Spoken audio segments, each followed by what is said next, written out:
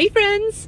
I know last week I said that we um, don't do very many vlogs, but here we are again. We are taking a three-day weekend trip to William's hometown in Missouri, and we decided just to bring you along. It's kind of like a foodie trip, really.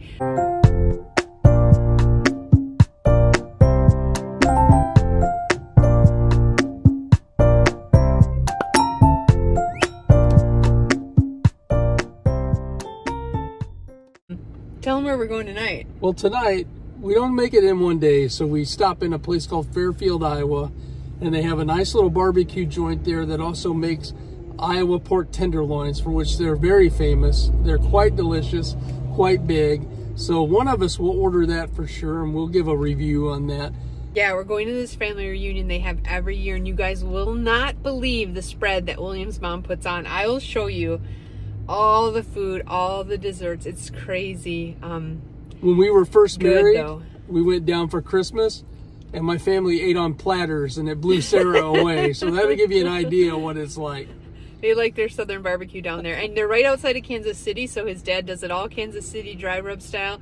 Brisket, pork butt, uh, I mean, you name it, we're going to have it and we'll take you with and we'll show you. But our first stop was to just refresh, get some nice um, coffees, and now we're going to be on the road and we'll show you some of the sights. We're just about to go over the Mississippi River. Um, it's beautiful there in Dubuque. In Dubuque, yeah, very nice town. Stay tuned. All right, see ya. You guys, I actually used to get anxiety about driving over this bridge because it's so tall and long, high above the water, but now I just love it because it's just so beautiful. And if you ever get a chance to go to Dubuque, totally go. There's a Mississippi River Museum there that's well worth a visit. And now we love Iowa, but you know, you do see a lot of corn there. And then we're headed to Sweet and Saucy in Fairfield, Iowa, a great barbecue place, great prices, really good food. Here we'll give you a quick review. Okay, here's William. He got the burnt end platter with potato salad and waffle fries and a corn muffin and half a rack of ribs. Take a bite, honey, and tell me how it is.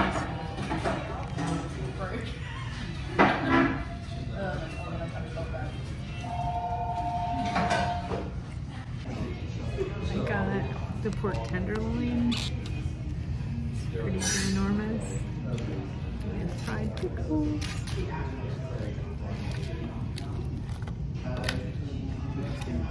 Ready for this one?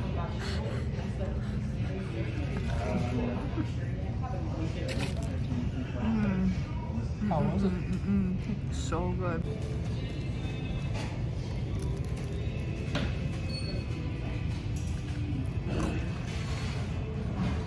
Mm. Good, really good. How's a potato salad, honey? It's hard to believe. This is one of the best things on the menu. It's killer. It's been my favorite thing so far. We saw so many deer, but this is the only one I got a video of. We saw so many tiny babies with their moms. Oh, so cute.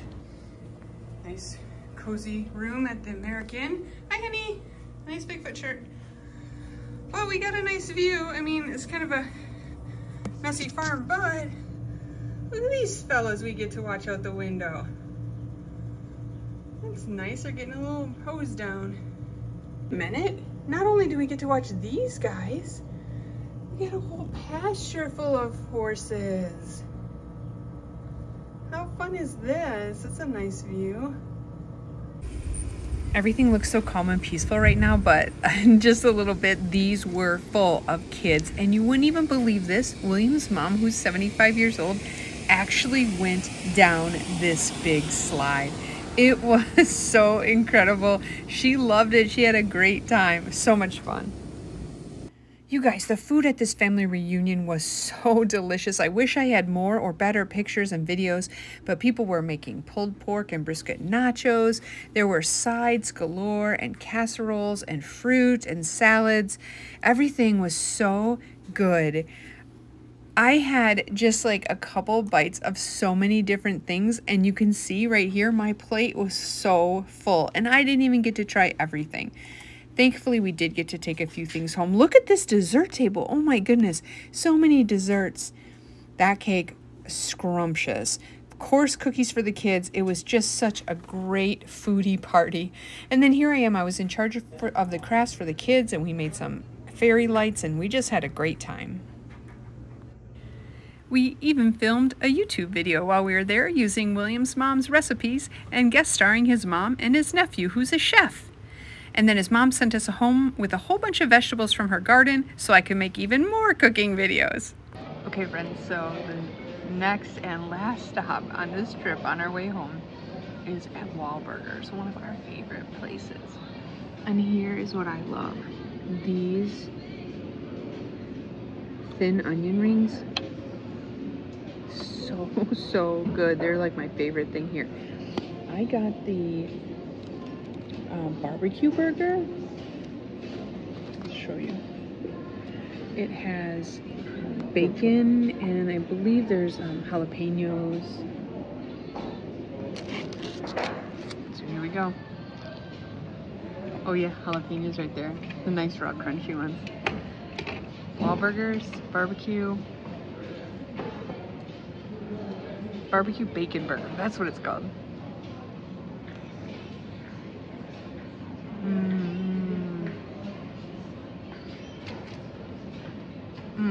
So good. Okay, I'm at Wahlburgers in Dubuque, Iowa, and I thought I'd take a little culinary risk today, and I've got the PB&J burger. It comes with melted creamy peanut butter, some bacon, government cheese, as they call it. It's some sort of bacon jam or something. That has peanut butter on it? Oh. So a oh. savory jam. And um, let's see how it goes. This is a pretty substantial patty. Try to get over here in a small part.